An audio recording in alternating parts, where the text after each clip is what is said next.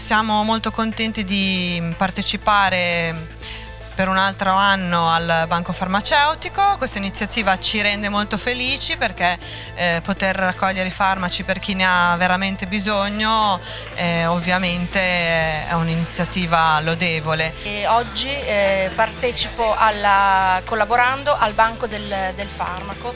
Ehm, un'iniziativa organizzata dalla Federfarma di Bologna già da 15 anni per donare un farmaco alle persone bisognose che non se lo possono permettere. E siamo contenti, la gente risponde positivamente, si vede che capiscono che ci sono esigenze importanti da soddisfare. Io faccio parte dell'Unità Alsi ma eh, collaborano a questa iniziativa altre associazioni della, della nostra città.